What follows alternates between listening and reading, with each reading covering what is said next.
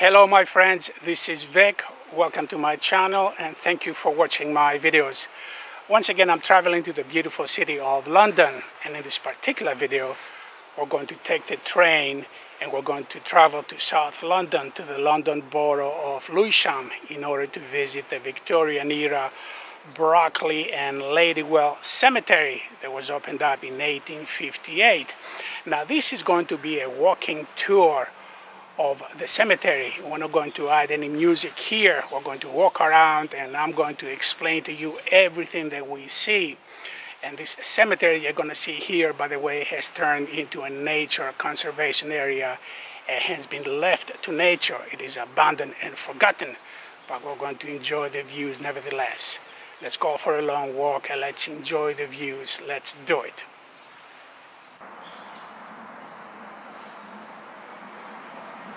The two cemeteries, Brockley and Ladywell. They were first established in 1858 and they were separated by a wall. The wall was destroyed in 1948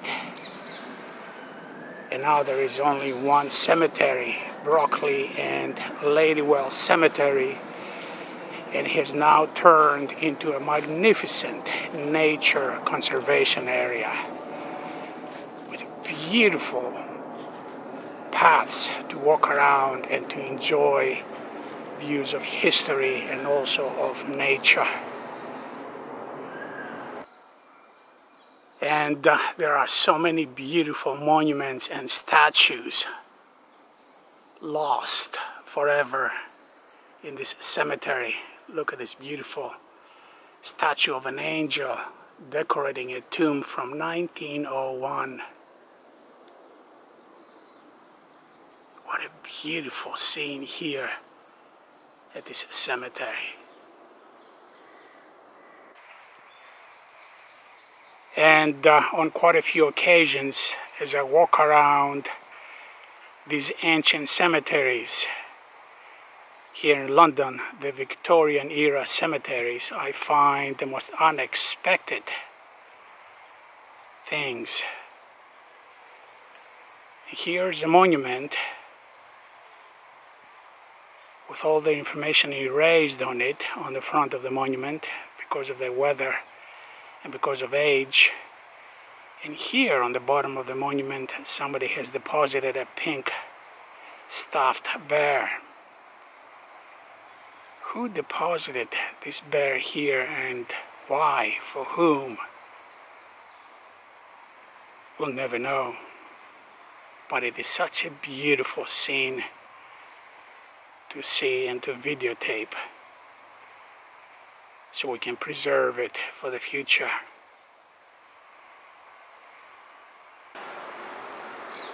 It is rather unfortunate that the western side of the cemetery is very close to a very busy road. But here we find some outstanding examples of Victorian era architecture of the tombs. Look at this beautiful cast iron railing of a tomb that dates from 1869.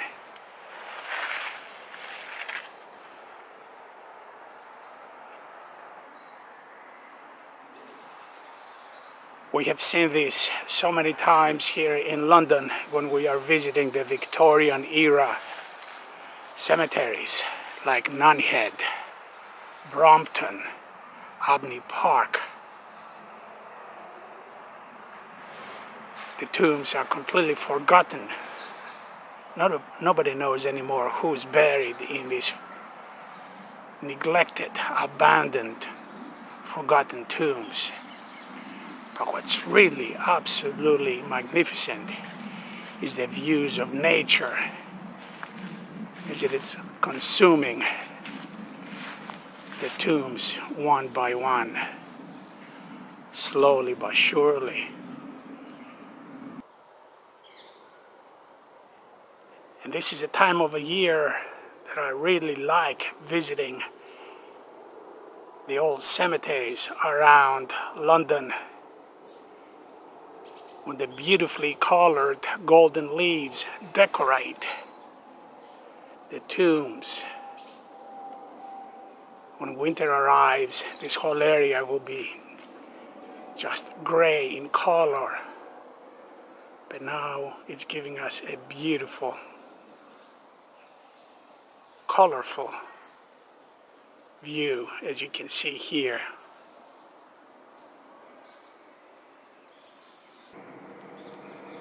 And in a forgotten corner of the cemetery, we find this beautiful statue of an angel holding on to a cross right there. It belongs to a tomb from 1903. The name or the names on the tomb have long been erased. But it is such a beautiful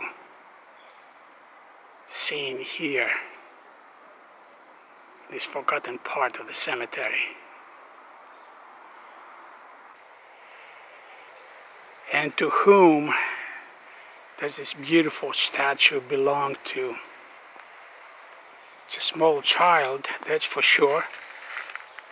The statue is missing the head and the right hand, as you can see here.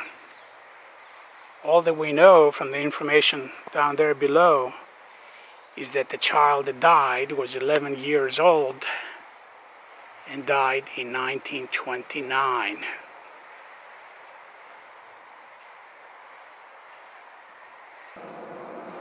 When the Ladywell Cemetery opened up in 1858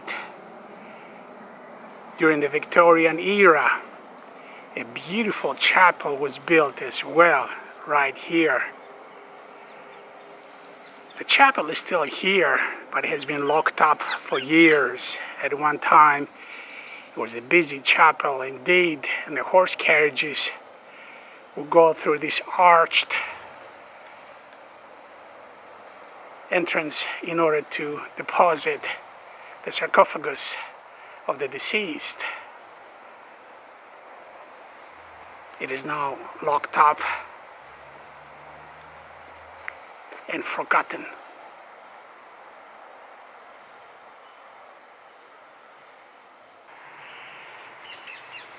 The only monuments and tombs that can be saved from being consumed by nature are the monuments around the chapel that we just saw. But even here, the tombs of well-known, wealthy individuals have not escaped the destruction of men. You can see the top of this tomb is broken and now it's being used as a place to deposit rubbish or garbage, unfortunately. And uh, this tombstone here is so incredibly old that all the information regarding the names of the deceased and the dates and so on had been peeled off. All that remains is the cross over the tombstone, blackened from age and covered in moss. And uh, in another corner of the cemetery, we find this two meter in height statue of an angel. At one time, he was decorating a tomb.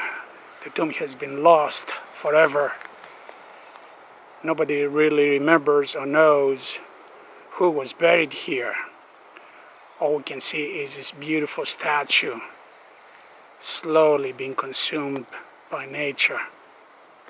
In a couple of years, when the branches will grow, they will cover the statue completely and it will disappear forever. And uh, finally, allow me to show you one more scene in order to emphasize my point that at one time these were truly magnificent cemeteries here in England and more specifically in London. And si since the decision was made to abandon them six or seven decades ago and to turn them into nature conservation areas, the magnificent tombs and monuments of the cemeteries are quickly disappearing. What you see here in two to three decades will disappear as well.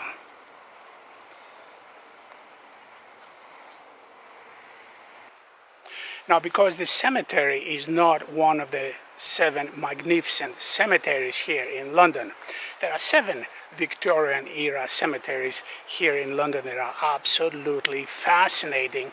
That would include Brompton, Abney Park, and Highgate, just to name three of them. This one, although it's a Victorian era cemetery, it is not part of the seven magnificent cemeteries.